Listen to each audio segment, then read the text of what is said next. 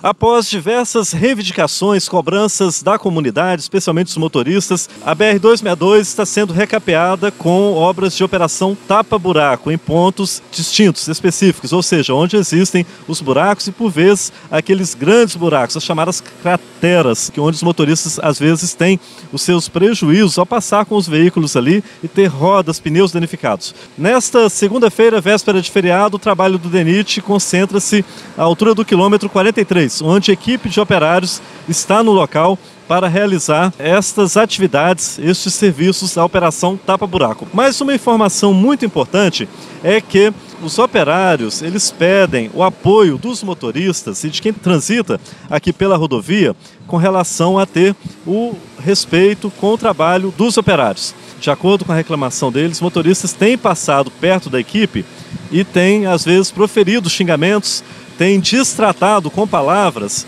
esses operários que estão realizando o trabalho braçal.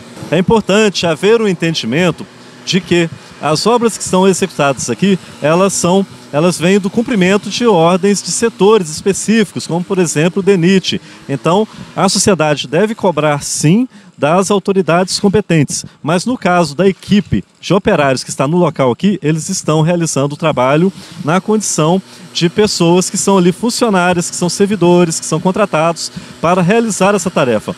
Não cabe a eles a definição de onde realizar o serviço, quando realizar, mas sim executar aquilo que lhes, que lhes é incumbido de fazer. Esta é uma solicitação feita por parte dos operários que estão atuando na operação Tapa Buracos.